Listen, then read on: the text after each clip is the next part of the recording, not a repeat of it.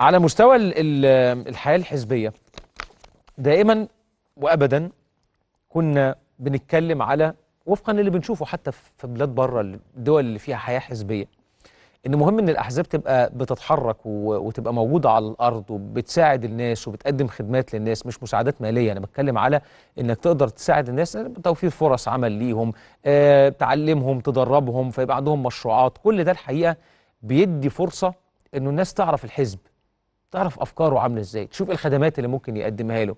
وكل ده في الحياة الديمقراطية بيبقى مهم. ده نشاط المفروض إن كل الأحزاب تتبعه. آه، والحقيقة إنه حزب حماة وطن عامل مبادرة متميزة جدا على مدار الفترة الماضية. آه، بدأت فكرتها من حوالي سنة تقريبا.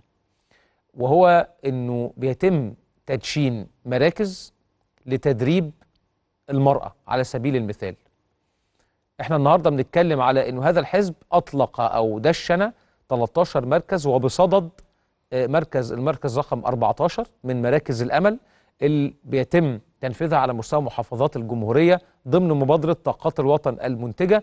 المركز ده فكرته هو تقديم دعم للمرأة المعيلة وتدريب السيدات على الحرف اليدوية وكمان مساعدتهم في تسويق منتجاتهم. فكرة متميزة بدأت من حوالي سنة وبنتكلم على مدار سنة في 13 أو 14 مركز لحد دلوقتي. خلونا نفهم تفاصيله أكتر من دكتورة رندا مصطفى أمين آه، المرأة بحزب بحزب آه، حماة الوطن ووكيل لجنة التعليم والبحث العلمي بمجلس الشيوخ. دكتور رندا مساء الخير. يا فندم برحب بحضرتك معانا.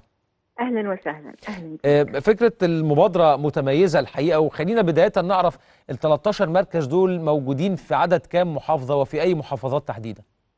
الحقيقة هو آه، بدأنا أول مركز كانت في آه، عزبة الهجانة أو آه، سابقا اللي هي مدينة الأمل دلوقتي. نعم. إحنا لما زي ما حضرتك ذكرت إحنا بدأنا ال- المشروع ده آه، من سنة تقريبا أطلقنا مبادرة طاقات الوطن المنتجة. ايمانا مننا إن ما ينفعش في إيد في مصر ما تشتغلش وإحنا داخلين على الجمهورية الجديدة.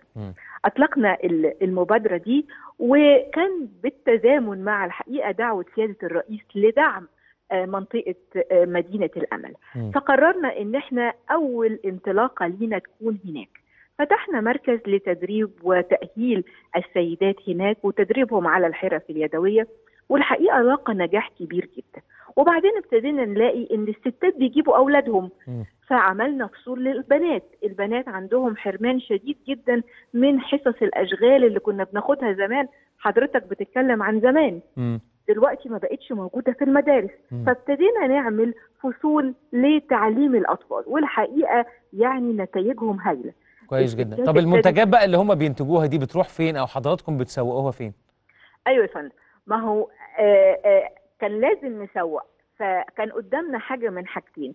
نعمل مركز دائم للتسويق وكمان نبتدي نعمل تسويق إلكتروني. وعملنا الاثنين عملنا مركز دائم في المهندسين. ده في كل منتجات مراكز الأمل ال 13 مم. وكمان عملنا آه، آه، آه، website ودلوقتي حاليا بنمرن السيدات على التسويق الإلكتروني بالت- بالتشارك مع الاتصالات دكتور رندا طيب على مستوى ال 13 مركز دلوقتي أنا عارف كمان إنه غير منطقة الهجانة في في الفيوم وأسيوط وعدد من محافظات ال- الصعيد إحنا هنا بنتكلم تقريبا عدد تقريبي. في كام سيدة بتستفيد من هذه البرامج التدريبية؟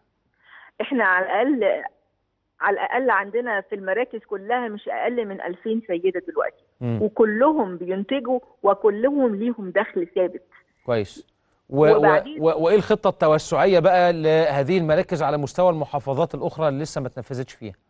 إحنا الحقيقة يعني إن شاء الله في خلال أسبوعين هنفتتح في قرية في سوهاج وبعد كده هنبتدي كمان نفكر في إن إحنا ندخل القرى بتاعت حياة كريمة يعني. مثلا ال- ال- ال- الحكومة بتعمل ال- ال- البيوت وبتظبط ال- البنية الأساسية وإحنا نبتدي ناخد ال ال ال ال القرية دي ونعمل فيها مركز بحيث إن هو يبقى شامل لكل حاجة اباح واميه آه، تنظيم أسرة آه، آه، دعم للأطفال آه، الارتقاء بالحس الفني.